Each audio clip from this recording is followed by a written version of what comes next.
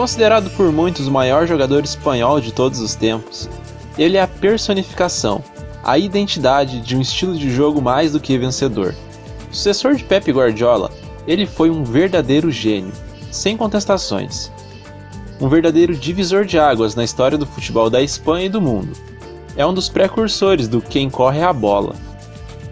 Posse, controle, inteligência, elegância.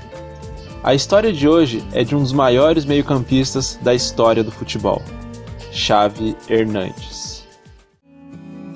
Nascido no dia 25 de janeiro do ano de 1980, em Terrassa, região localizada na Catalunha, Espanha, o Xavi é filho do seu Joaquim Hernandes e da dona Maria Mercê. Ele começou a jogar bola muito pequeno e aos 5 anos já estava em uma escolinha de futebol. É natural que as crianças da cidade não tenham muita noção de posicionamento e queiram correr, ir ao ataque e fazer gols. E desde aí o pequeno Chave já se mostrava muito diferenciado. Perguntado pelo seu pai o porquê ele não ia ao ataque e fazia gols como os outros garotos, o Chave respondeu, no auge dos seus 5 anos: Porque se eu não estiver no meio, a bola não chega ao ataque. Com 11 anos, o menino entra nas categorias de base do Barcelona, a La Masia, Desde muito jovem, ele já demonstrava muita personalidade e liderança, fazendo com que seu nome sempre estivesse entre os mais promissores do clube catalão. O garoto já nasceu com o DNA do Barça. O Xavi foi passando por todas as etapas da canteira blaugrana, até que na temporada 97-98 ele entra no segundo time do Barça, o Barcelona B. O destaque nas divisões inferiores chama a atenção do técnico holandês Louis van Gaal, que lhe deu sua primeira oportunidade no time profissional, o Xavi estreia uma partida da Supercopa da Espanha contra o Mallorca. Ele marca o gol da derrota do Barça por 2 a 1. Nessa temporada ele alternou aparições no time principal e no time B, e já conseguiu ser campeão do Campeonato Espanhol, o primeiro da sua carreira. Nas temporadas seguintes, os anos do Barcelona foram bem discretos, tanto no cenário nacional quanto no europeu.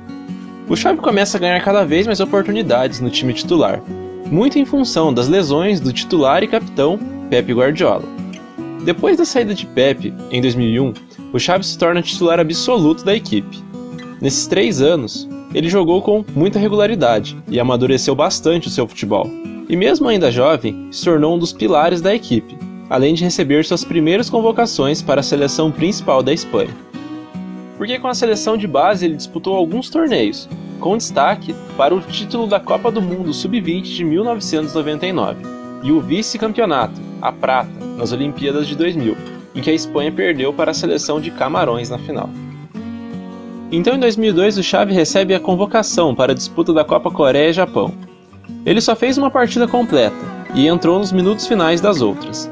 A seleção da Espanha caiu nas quartas de final, nos pênaltis diante da anfitriã, Coreia do Sul. Na temporada pós-Copa do Mundo, mais uma vez o Barcelona não ganha títulos, e o Xavi segue jogando muito bem e sendo bastante participativo. Ele jogou em 44 jogos, fez 3 gols e deu 9 assistências. Na temporada 2003-2004, o clube se reforça e fica mais competitivo. Tanto que no Campeonato Espanhol conseguiu terminar em segundo lugar, ficando atrás só do campeão Valência. E apesar do surgimento de seu eterno companheiro Andrés Iniesta, da contratação de Ronaldinho Gaúcho, Ricardo Quaresma e o centroavante Patrick Kluivert, mais uma vez o time passa em branco. Na Eurocopa 2004, Xavi e Espanha fazem péssima campanha, não passando sequer da fase de grupos da competição. Na temporada 2004-2005 as coisas começam a mudar no time catalão, e o Xavi ganhou um concorrente de peso no meio-campo, o brasileiro naturalizado português Deco, que chegou do Porto após um surpreendente título da Liga dos Campeões. E coletivamente o time evolui muito e volta a conquistar a La Liga, campeonato espanhol. O Xavi fez ótimos jogos e ganhou o posto de segundo capitão do time, ao todo foram 45 partidas e 13 bolas na rede, além de 13 assistências. Na temporada seguinte, o Barça desencanta de vez e chega ao seu ápice sob o comando do técnico holandês Rijkaard. O Xavi viveu um dos piores momentos da sua carreira, pois ele se machucou gravemente no final de 2005 e ficou fora de combate por quase seis meses, perdendo boa parte da temporada. Temporada essa que o clube já começou ganhando a Supercopa da Espanha, e depois faturou o segundo campeonato espanhol seguido. Mas o melhor ainda estava por vir, a grande cobiçada Liga dos Campeões da UEFA. Por conta da lesão, o Xavi não estava nas suas melhores condições físicas e voltou às vésperas da decisão contra o Arsenal. O Barça venceu, 2 a 1 e ficou com a orelhuda. Ainda sem estar 100%, o craque vai ao seu segundo Mundial na Alemanha. A Espanha passa por uma primeira fase tranquila, mas cai logo nas oitavas, perdendo para a França de Zidane. Nos dois anos seguintes, o clube não conseguiu apresentar o mesmo futebol campeão da Europa e conquistou só uma taça, a Supercopa da Espanha de 2006. O clima no vestiário era de desgaste, e muitos jogadores em idade avançada já não estavam mais rendendo como antes. Em contrapartida, o Xavi era um dos poucos que evoluía em meio à crise. Na temporada 2007-2008, ele atuou em 54 jogos, fez 9 gols e deu 9 assistências, chegando na sua melhor forma técnica e física para a disputa da Eurocopa.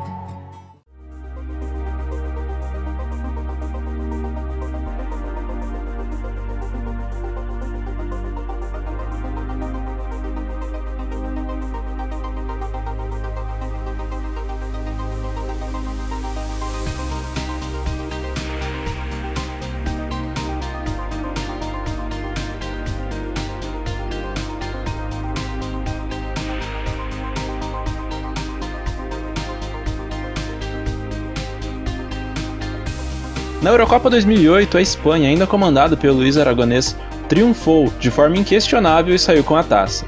O time dava os primeiros passos no estilo de jogo que ficou popularmente conhecido como tic-tac e dominou a Europa nos anos seguintes.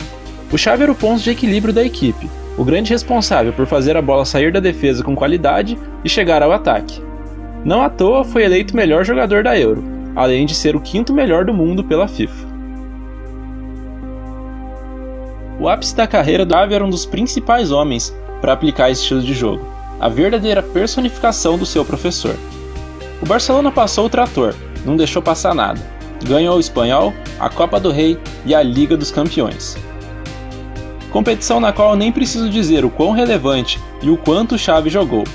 E no final de 2009, derrotou o Estudiantes da Argentina e foi campeão mundial de clubes.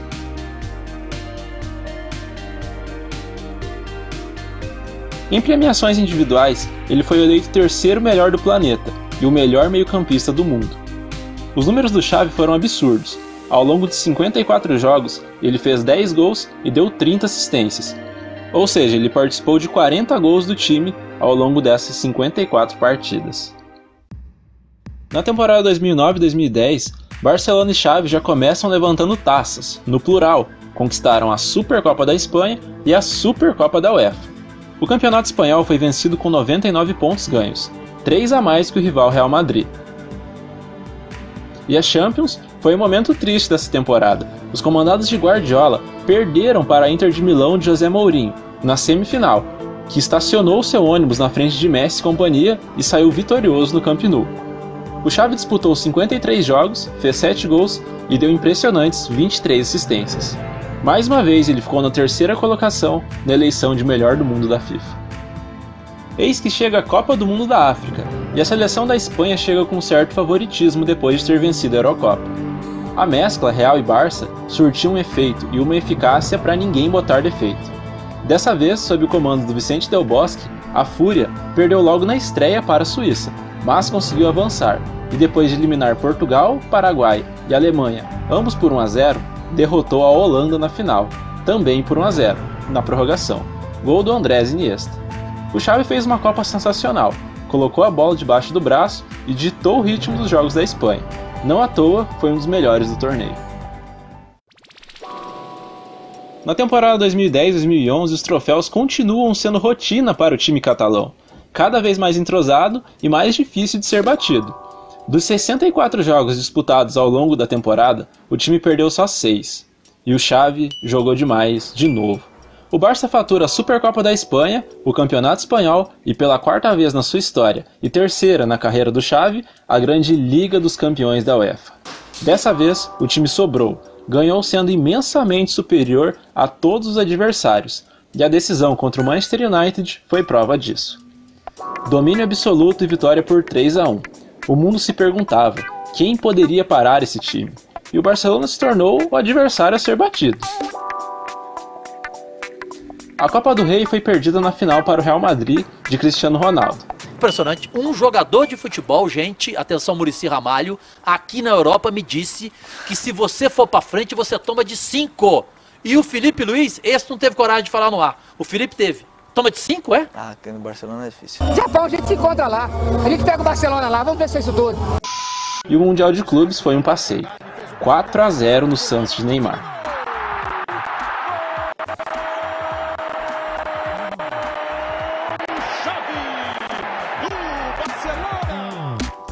O Xavi fechou a temporada com 50 partidas, 5 gols e 15 assistências, sendo eleito pela terceira vez o terceiro melhor do mundo.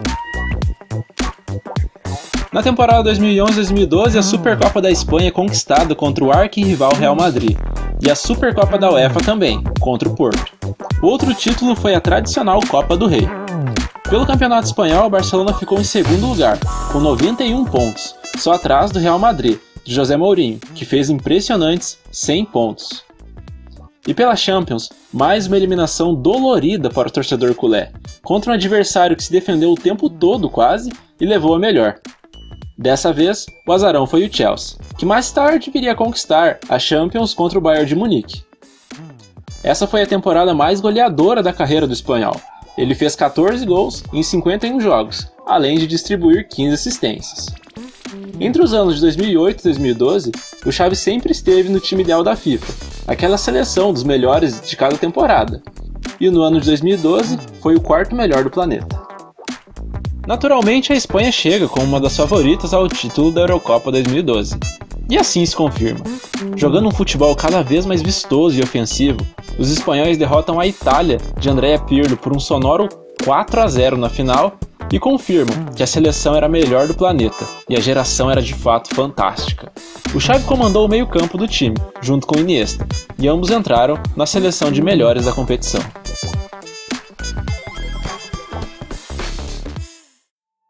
Após a despedida de Guardiola, o clube tem um declínio técnico grande e já não chega a encantar como em anos posteriores.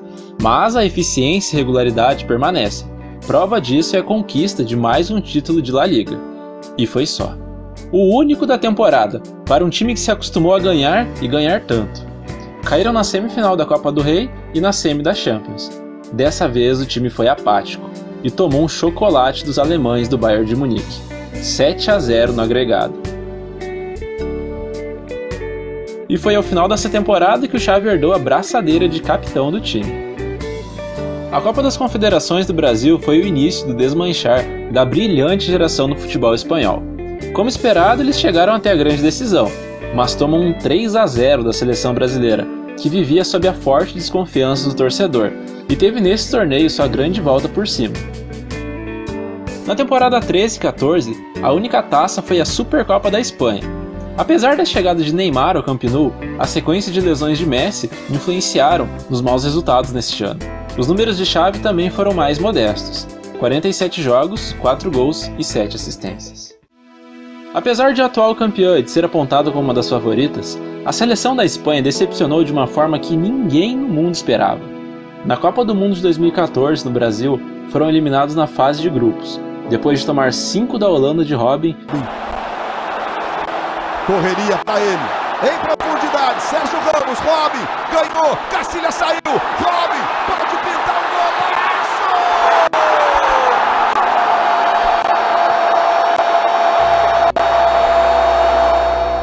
E dois do Chile. Ou seja, eles chegaram na terceira partida contra a Austrália já sem chance de se classificar. A idade dos jogadores e a falta de fome foi apontada como grande causa da queda de rendimento e dos resultados pífios. O Chaves só entrou em campo no jogo da Holanda, e essa foi a sua última partida vestindo a camisa da Fúria. Depois do Mundial, ele anunciou que havia se aposentado da seleção da Espanha. O Xavi entrou em campo 131 vezes, fez 13 gols e deu 24 assistências, além de conquistar 3 títulos com a Espanha. Apesar de sair do banco de reservas no segundo tempo de boa parte dos jogos e de dividir espaço com o croata Ivan Rakitic, essa última temporada do Xavi vestindo a camisa do Barça foi pra lá de especial e vitoriosa. O grupo chegou a ter desavenças com o treinador Luiz Henrique, mas a qualidade de outro planeta, principalmente do trio de ataque, prevaleceu. Messi, Soares e Neymar, só não fizeram chover.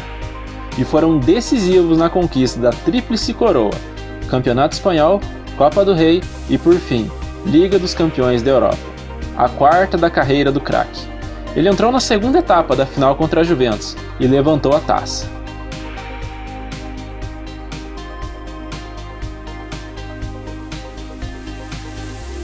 Depois de 17 anos vestindo a camisa do Barcelona, esses foram os números monstruosos do Xavi Hernandes. Ele atuou em 767 jogos, marcou 86 gols, deu 184 assistências e conquistou 25 títulos. Ele é o jogador com mais partidas na história do clube catalão.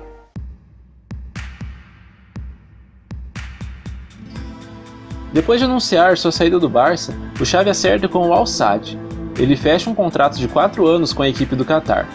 E o talento dele, mesmo que já veterano, foi muito visível em um futebol de baixo nível técnico. O Xavi teve grandes atuações ao longo desses anos, e seu espírito vencedor e de liderança conduziu seu clube a muitos títulos. Em 2017, a Taça Emir Cup, a Taça Qatar e a Super Taça do Qatar. E em 2019 foi campeão do Campeonato Nacional, a Liga Qatar. Ao todo foram quatro troféus em quatro anos.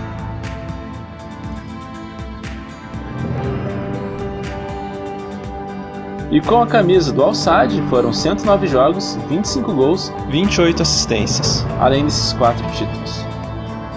Ao todo jogando por Barcelona e Al-Sadd, o Xavi disputou 876 jogos, marcou 111 gols, distribuiu 212 assistências, além de levantar incríveis 29 canecos. Em maio de 2019, o Xavi inicia sua carreira de treinador, algo que muito se falava, e ele sempre deu indícios de uma vocação nata para liderar.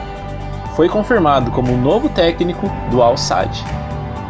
Em março de 2020, o Barcelona convidou o Xavi para treinar a equipe, em meio ao caos da gestão de Ernesto Valverde, que já estava com os dias contados. Porém, o ex-jogador do clube não aceitou, dizendo que se voltar, ele quer um projeto do zero e tempo para trabalhar. E, ó, e na minha opinião, o jogador que é mais importante desse Barcelona é o Xavi. O Xavi? É, na minha opinião, ele toca mais de 140 vezes na, na bola por jogo.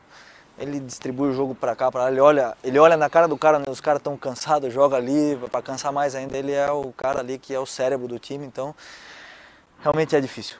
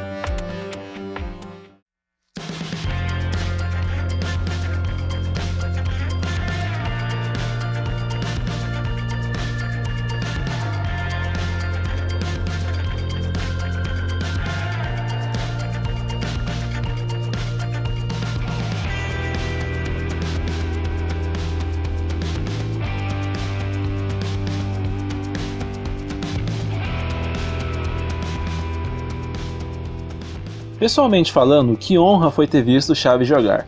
Ele não era forte, não era um velocista, não era alto, jogava quase que única e exclusivamente com o cérebro, um jogador de quase erro zero, que potencializou os companheiros e os deixava ainda melhores.